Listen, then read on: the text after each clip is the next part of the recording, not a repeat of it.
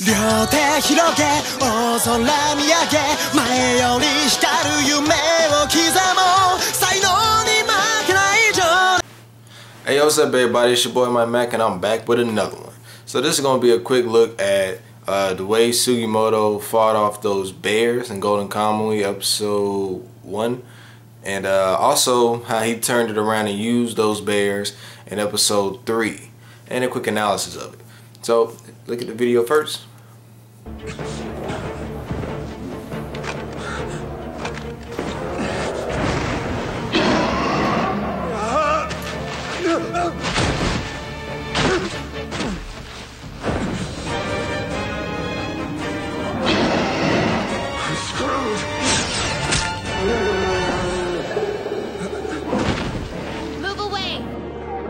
poison I used is made from red stingray spine and wolfsbane root, so it acts fast. But the bear can still lash out.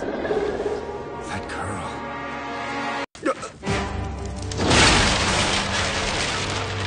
holy shit! Already? That was fast.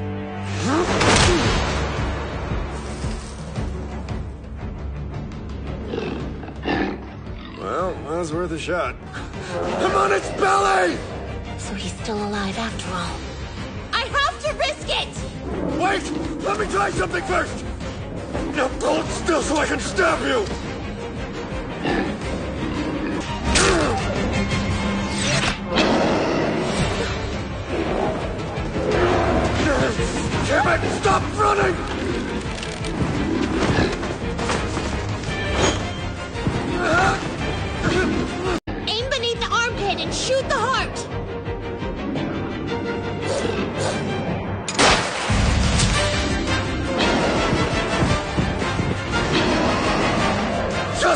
And kill me! I'm the immortal Sugimoto!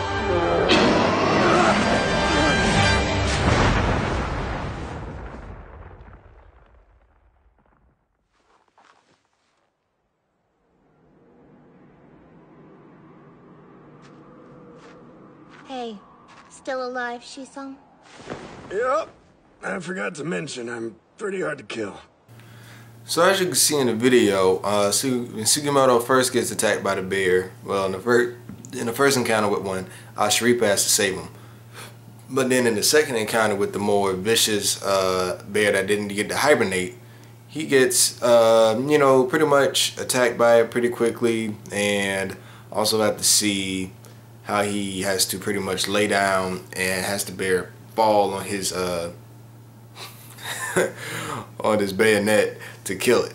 Um, I think this is very cool because it was a pretty much spontaneous thing. I think this also gives a quick insight into just how quick-witted uh, Sugimoto can be when he fights. Um, I think he's a very versatile fighter. Honestly, when he punched the bear, I thought that was hilarious. Like he just punched it. I'm like, dude, really though? So I thought that was pretty crazy. Um, but I think it's just helpful to see just you know how how how fast he'll come up with a way to win. Uh, also how tenacious he is with winning, and also how he survives a fight. You know, past the point where somebody thinks he, he'll be dead. Because at first, I Asiripa was like, "Oh, he's still alive." Thought he was dead. Oh well, well, shit. Big ups to you, homie. So now let's look at how Sugimoto takes information about bears and uses it later to go and uh, have the bear fight for him.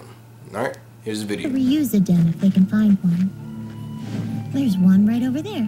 Go on, take a look. Wait, why should I go? If there's icicles on the entrance or it smells like raw meat, there's likely a bear inside. Be quiet when you approach Sugimoto. It should be hibernating, right? It's just half asleep while it hides from the cold. If you're loud, it'll still wake up. Yep, there's icicles. And a whole bunch of half eaten bamboo. Is there a bear? Might be.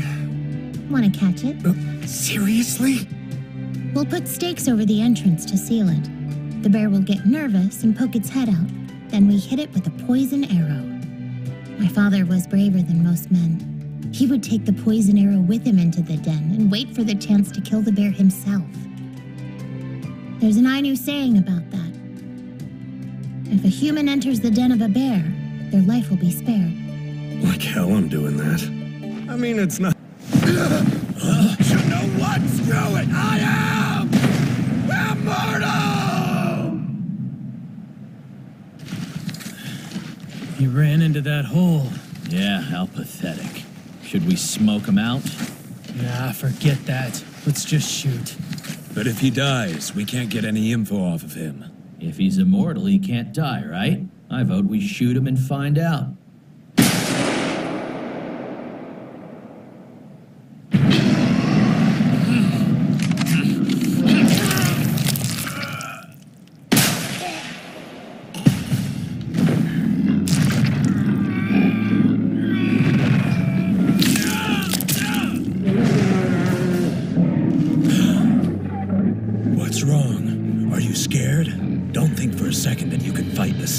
7th Division and escape unscathed.